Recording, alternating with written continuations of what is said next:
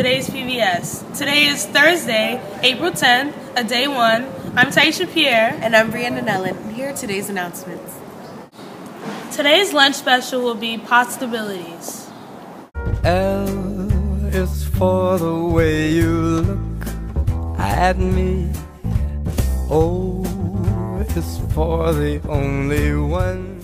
The Pace Film Festival will be held next Tuesday in the Spartan Center at 7 o'clock. The entrance fee is $5 and you can prepay your theology teacher for a ticket. Yeah,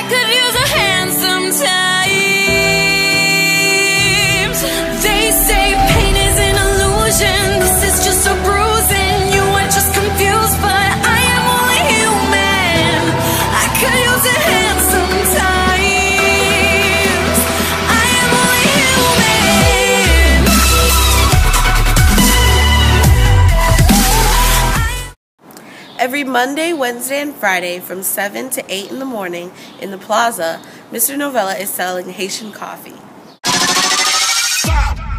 Slow down, baby!